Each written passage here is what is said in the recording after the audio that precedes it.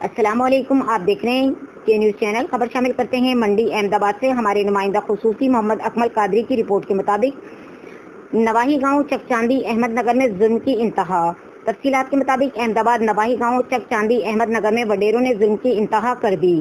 وڈیروں، غفور، نواز اور بشیر وغیرہ نے سائلہ میمونہ کمل کے زمین پر ناجائز قبضہ کر کے کھال بنانے کی کوشش کی۔ سائلہ کے منع کرنے پر مذکورہ باثر ملزمان تیش میں آ گئے، جس پر ملزمان نے سائلہ کی والدہ